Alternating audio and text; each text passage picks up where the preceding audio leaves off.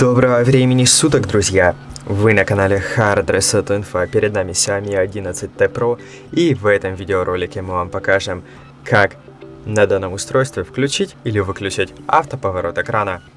Для того, чтобы это сделать, мы в правом верхнем углу нашего экрана свайпаем вниз и видим вот этот вот пункт, где у нас нарисована такая колодка с э, или замок, даже можно это так назвать, э, с, тако, с таким кружочком и стрелочкой. Это у нас пункт называется блокировка ориентации. Если у нас включена блокировка ориентации, значит телефон не будет поворачиваться.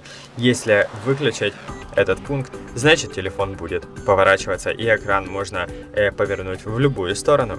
Больше видео об этом устройстве можете посмотреть у нас на канале. Обязательно подпишитесь, поставьте лайк и всего доброго. До свидания.